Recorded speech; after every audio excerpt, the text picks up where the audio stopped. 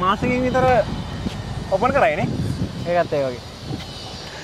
අයිබෝන් ඉතිං අරගලේ හිටපු එකන ගෝල්පේල් සරගලයට වඩා මේ මහජනතාවය මහජනතාවගේ සහ මේ සමාජ මාධ්‍ය අරගලේ හිටපු ප්‍රයන් ඉතින් ප්‍රෑන්් අද හම්බෙන්නාව මොකද ප්‍රෑන්් තිනවල පොඩි කතාවක් කියන්න. මේ මේ ඇත්තටම මුලින්ම කියන්න ඕනේ මේ මෙහෙම ටයිපොළු දාගෙන මේ ඉන්නේ මේ අද උසාවි දවසක් නැත්තම් මේ වැඩසටහන කරද්දී නම් අපි ෂෝටයි බාටයි ගහලා වැඩසටහන කරනවා. මොකක් ඇදන් හිටියද ඉතින් මේ මෙහෙම ඉන්නේ මේ උසාවි දවසක් ඉඳලා ඉතින් බ්‍රයියා ඔයාට මේ මොකක්ද මේ චෝදනාවක් කෙල්ල කරන්න තියෙනවා කියලා කිව්වා. අපි පොඩ යන ගමන්ම කතා කරමු.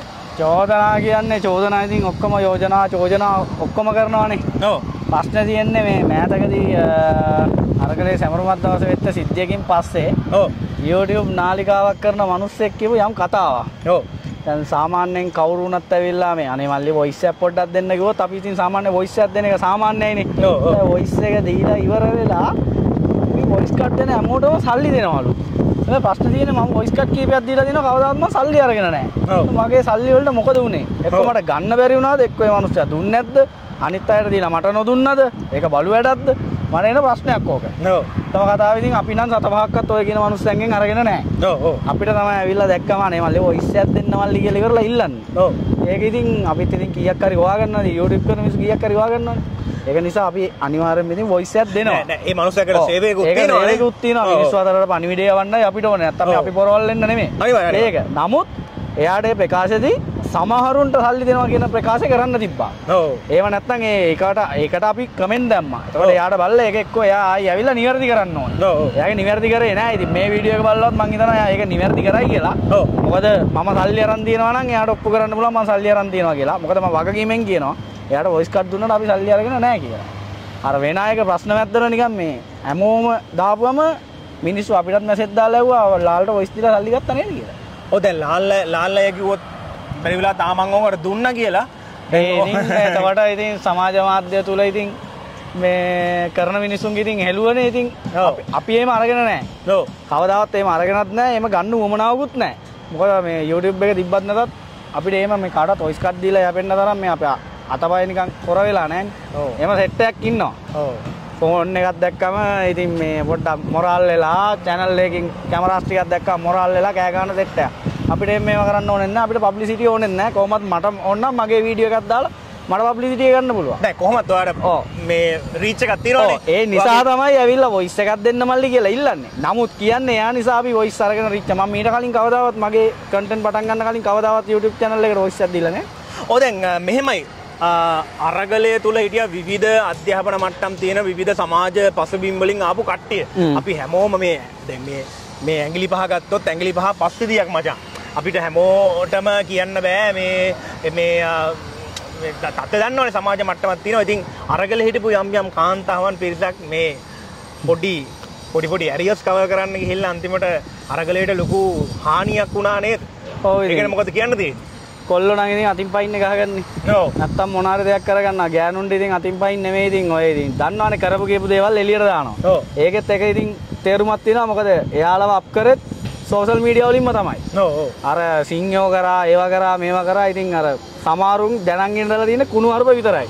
දේශපාලනේ දන්නේ නැහැ. ඉතින් කුණු අර කතාවක් මැදට කුණු හරුප දෙක තුනක් දාපුවම ආ පාට්ට views යනවනේ කියලා ඇවිල්ලා කැමරාව ඇල්ලුවා. එයා පොරක් වුණා. එක එක්කෙනා එයාව use කරා. ඒක තමයි ඕනේ ඉතින් දැන් වෙලා තියෙන අරගලයට ගහන්නත් එයාලව use කරනවා. ඉතින් මේ චෝදනාව ඉතින් මේමයි අරගලයේ ගණිකාව උඩ්ඩෝ අරග මේක හිටියා කියලා කියනවා. හරි අපි හිටියා කියමුකෝ.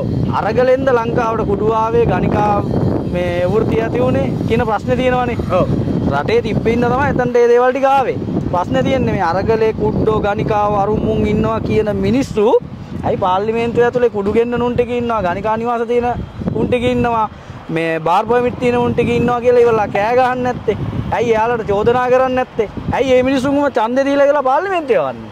මිනිස්සුන් ඔන්න ඔය ප්‍රශ්නේ තියෙනවා. මේ ගෝල් පේස් අරගලයට ගැහුවා කියලා මේ රටේ සමස්ත අරගලේ නැති වෙනවා කියලා කවුරු හරි ඉතින් ඔය මේ අරගලයට විරුද්ධ සෙට් එක හිතනවා නම් මම නම් ගම් කියන්න කැමති නෑ. මොකක් නඩු ගන්න බෑනේ. ඒක නිසා හිතනවා නම් අරගලේ තිබ්බේ ගෝල් පේස් එකේ විතරක් නෙමෙයි. ගෝල් පේස් එක කියන්නේ අරගලේ මේවපු තැනක් විතරයි. මේ රටේම මිනිස්සු ගෝල් පේස් එකත් එක්ක එකතු වුණා. මේ රටේම මිනිස්සු අරගලයට ආවා.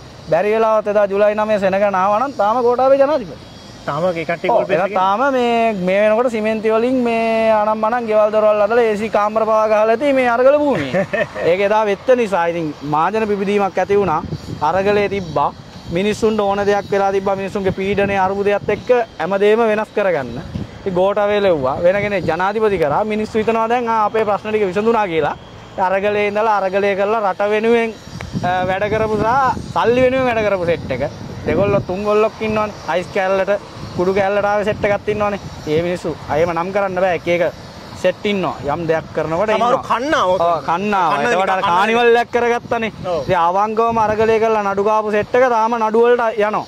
ඒ මිනිස්සු තනියෙන් දැන් අද නඩුවක් තියෙනවනේ. කී දෙනායි දෙන්නේ? ඔව්, ඒක තමයි. අදාළ පුද්ගලයාගේ නඩු ඉන්න ඔයයි මායි විතරයි. ඔයාගේ නඩුව කී දෙනා දෙන්නේ? ඒක තමයි, මම. එනවා. මට නඩු නෑ. ඒක හැබැයි ඒමයි කියලා. කතා කරලා වැඩක් නැහැ. මට අද නඩු නෑ. අනිවා අනිවා. ඉතින් මිනිස්සු පට්ට ආත්මාර්ථකාමී මිනිස්සු වෙන නම් පාට පැත්තේ මිනිස්සු අරගලේ ඉවරනම් පස්සේ ආ දැන් අපිට හරි කියලා වෙලා මිනිස්සු දැන් අරගලේ උන්ගේ වැරදි හොයනවා අර හැමදේම රැල්ලටනේ. අරගලේ තියෙනකොට අරගලේ පැත්තේ ඉඳගෙන දේශපාලනයට පැන්න දැන් මිනිස්සුන්ට අමතක වෙලා 225 එපා කියනවා හරි මම නම් කියනවා 225 එපා කියන එක බොරු වැඩක්. 225 නෙමෙයි ඉතින් 225 එපා කිව්වා කියලා වැඩක් නැහැ. මිනිස්සුමනේ පත් කරලා යවන්නේ. අපි වෙනස් වෙන්න ඕනේ. මගේ දේශපාලන දැක්මක් තියෙනවා තමයි මට දේශපාලන පක්ෂයක් තියෙනවා. ඉතින් ඒ දේශපාලන පක්ෂේ මගේ ප්‍රජාතන්ත්‍රවාදී අයිතිය. මං කිසිම දවසක ඒක ප්‍රමෝට් කරන්නේ නැහැ. සමාජ මාධ්‍ය ඔස්සේ. ඉතින් මේ යම් යම් අර්බුද තියෙනවා. ඉතින් අර්ගලේ අරගලේ ඇතුලේ නැත්තේත් නෑ ඔව්. ඉතින් මේ ඒ දේවල් එක්ක යන්න ඕනේ. ඉතින් සාමකාමී අන්තිමට බලන්න ගියාම එයා මෙයාට චෝදනා කරනවා මෙයා එයාට චෝදනා කරනවා අර ඔරු එලවන්න ඇවිල්ලා තියෙන ඔරු ටිකක් කියන එක තමයි මිනිස්සුන්ට සමාජගත කරලා තියෙන්නේ ඔළුවට යන්නේ නේ. ඔළුවට යන්න. එතකොට දැනගන්න ඕනේ වැඩසටහනක් කරනකොට වැඩසටහන කරනගෙන එතන අර්බුදයක් යනවනේ ඒක වීඩියෝ නොකර ඉන්න. එතන කරේ මා බලු වැඩක්. ඒ නිසා තමයි ඒක නිවුස් වල පවා ගියේ. නැත්තම් එතන අර්බුදයක් ඇති වුණා කියලා දන්නේ එතන හිටියේ 20යි 30යි.